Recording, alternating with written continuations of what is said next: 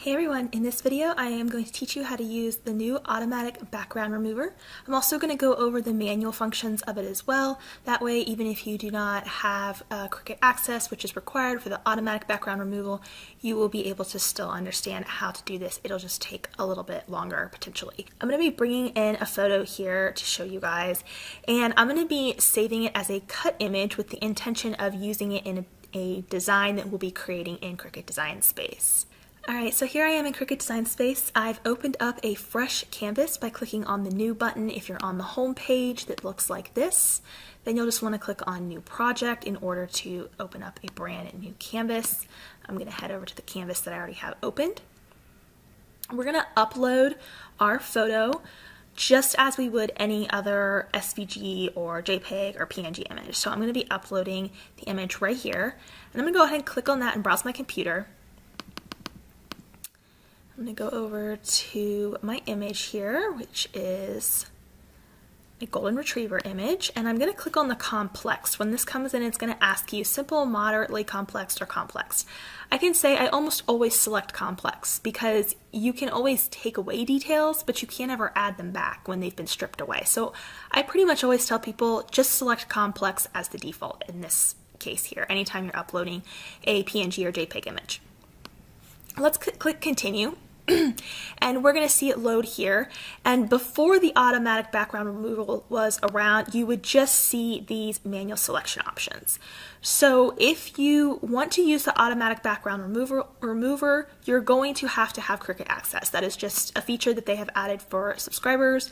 And if you do not, you can still use the select and erase features down here for free. So those are um, completely free um, if you do not have the Cricut access. So this is uh, just something to be aware of depending on if you pay that $9.99 a month or not. You'll also see a little option down here that says more options. If you click on that, it will reveal um, a few other things here, like if you would like to modify um, the number of colors that is in the photo or the tolerance of the colors. I can say 99% of the time, I never even touch that. So uh, don't really worry about it at this point in time. So let me first show you what it was like when we just had these manual options here for removing the background. My goal is to get the puppy to be cut out because what I want is I want the silhouette of the dog and then I'm going to be putting some words inside of the dog. So I'm looking for the silhouette option here as a cut file and I want to get rid of all this greenery background here. And before we had the automatic background removal uh, you had to use the selection tool. And it would default to the selection tool which and it still does that now. So even if you want to use this uh, automatic remover uh, you'll still have the manual selection tool as the default when you bring it in. And you'll know that's the default because if you hover over the image there's a little plus icon that appears that you can see there. So before the automatic remover uh, we had to click onto our background in our image here. And it would remove it in parts. And this varies greatly on uh, what the image is like. Sometimes if you have like a white background, it will get rid of it in one click and you'll have no problems. If you have a complex background, um, it will be very difficult. This would be considered a moderate to complex background. So we would have to spend quite a bit of time clicking around in here to remove the background pieces. And then even once we've spent time clicking around in here, we will probably still have to grab that eraser tool, which is the second tool over, and we'd probably have to increase our eraser size, and the eraser size isn't even that big, even when it's fully cranked up to 100. And then we would have to come in here with these smaller parts, and we'd have to erase them in order to get this uh, background completely cleaned up. So it's definitely a little bit more of a time consuming process than what this automatic uh, background remover is going to be able to do for us. So I'm going to undo this. There's an undo button right up here at the top. So I'm just clicking the undo button here to put the image back the way it was. All right, there it is at our original point. Before I go into the automatic remover, um, I also just want to note up here that you can crop away parts of the image as well. So if you want to, you can come in here with this crop tool and we could just select closer to the dog. And then that way we're not trying to waste our time with um, all that extra green background if we had to manually erase things if you don't have Cricut access. This would at least save you a little bit of time by being able to crop and the crop tool is free too. All right, so now that I've cropped that down, I'm gonna hit the remove background option and it's going to take care of removing that background for me. Scrolling down. All right, that did a pretty good job overall because remember I'm going to be going for the silhouette of this shape here. There's a couple little things I want to clean up. And in order to bring a couple things back and get rid of a few things, I'm going to use the manual tools at this point. But we saved ourselves loads of time by clicking that uh, remove background with one click instead of having to select everything. So I'm still going to grab my eraser tool right here and I'm going to come in right where there's a little piece of fur that's kind of sticking out but it's green but I'm going to just click on that to remove it.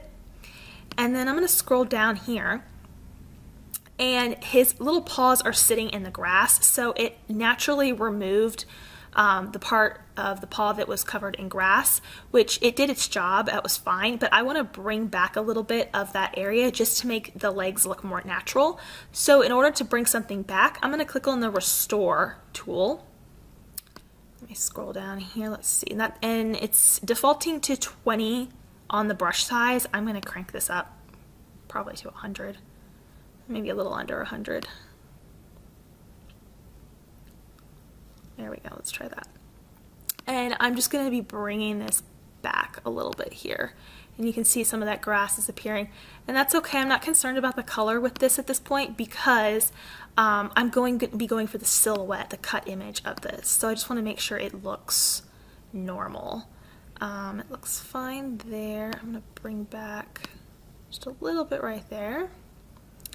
All right, that's pretty good overall. We've got the cutout that we want there. Right up here at the top uh, right hand side, you can also preview the image as a cut line before you finalize it. So I'm gonna do that just to give it a quick check and it looks fine to me. So I'm gonna click that back. Once you're satisfied with the removing of your background, then you can go ahead and hit apply and continue at the bottom.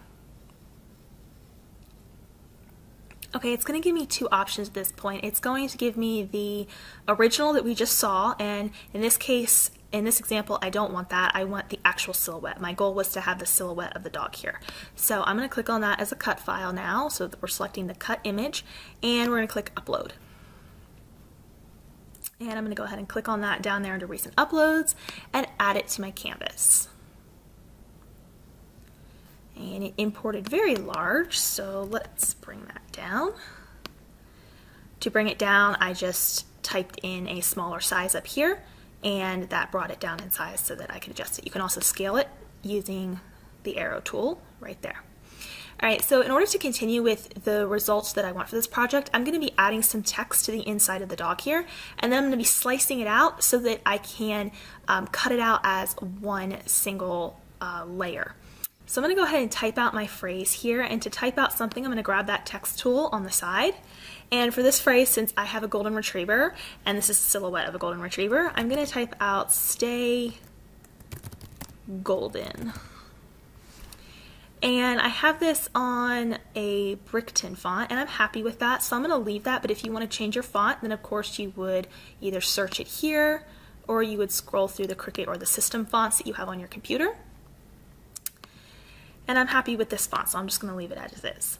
And I put it on two separate lines because I'm going to be wanting to separate these. I think I'm actually going to separate the letters. So in order to separate the letters, I'm going to click the advanced option while the text is selected, and I'm going to click on ungroup to letters. And so that I have good contrast here, I'm going to change this to white. Okay. First thing I'm going to do is grab the ST I'm going to bring it over and I'm kind of creating like a, I'll show you where we're going with this here. We're going, we're aiming for this. So when I did this test, this is what I'm aiming for. So that's where we're going. So I brought over the S and the T there. I'm going to also do the same with the A and the Y. You can also group these and move them as a group, and that way you don't have to worry about them shifting on you or anything. I'm to enlarge this just a little bit. A little too much. All right, and I'm gonna select the G, the O, and the L. I'm gonna group that and bring it over here, enlarge it a little. And the D, E, and N, I'm gonna group that, enlarge it a little bit, and put that in here. Okay, so I have my letters in there and now I want to put a little paw print right here. I'm actually going to make the paw print with just some circles in the shapes panel. So I'm going to click on the shapes tool and I'm going to click on the circle. I'm going to grab that. I'm going to use it, uh, I'm going to stretch the circle. So I'm going to unlock it, clicking that unlock icon. I'm going to stretch it into kind of a long oval. And I'm going to use my little rotation there at the top and I'm going to rotate it. And I'm going to duplicate it. So using the duplicate tool over to the top right, I'm going to duplicate that. And I'm going to flip it horizontally so that I just turned it the other direction there. I'm going to duplicate it again. And this time grab my little rotation handle, kind of straighten it back out there a little, and put that right there and I'm going to select all three of those circles and I'm going to click the weld button because I want them to be one seamless piece. So I'm going to click the weld button.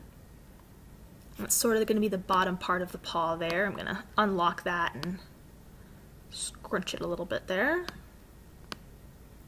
Okay, and I'm going to grab another circle here. Let's unlock it. And I'm going to scale it down for the rest of his paws just like so, and we're going to duplicate that. Alright, there we go. So there's a little paw print that we've made with just circles here in Design Space. So I'm pretty happy with that overall. I'm going to select all of those pieces that we have now, and I'm going to again click the weld tool so that it is now one seamless piece, and you'll see that result over here in your layers panel at the top.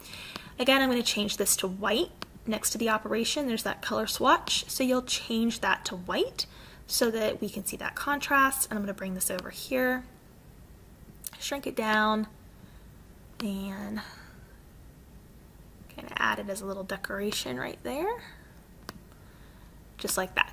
Okay, so I could leave this as it is if I wanted to make this two layers and let's say I wanted to cut out the golden silhouette in one color and then cut out the text and the paw print in another color and layer it, so that is an option. In my case, I want to actually slice out all of the white from the black silhouette here so that it's one single piece because right now um, we would cut the letters out separately from the silhouette, but I want it to actually be one whole layer, one single piece. So to do that, I'm going to come over here to my layers panel I'm going to scroll up to the top and I'm going to start by clicking on, um, in my case, a little paw print there. I'm going to hold my shift key on my keyboard and I'm going to select all the other white, all the text and the groups that we've got here. And one right there. All right, so I have all of the letters in the paw print selected, and I'm gonna weld all of those together so it is one single layer and you'll see the result appear in your layers panel. So right there, if we look in our layers panel, you've got that all that white together welded, and then we have the silhouette. Okay, and then in order to get this to be not two pieces now, but one, I'm going to select both the black and the white, and I'm going to click the slice tool at the bottom of the layers panel. We're going to slice that out and you're going to get a few results. You're going to get the original there, you're going to get the cutout, and then this here is the result that we're wanting. So instead of there being those two layers, it's now one layer. So that is a example process of how I would use a image with the automatic background remover um, or you could do it the manual way in order to capture a silhouette and then create a file here in Cricut Design Space.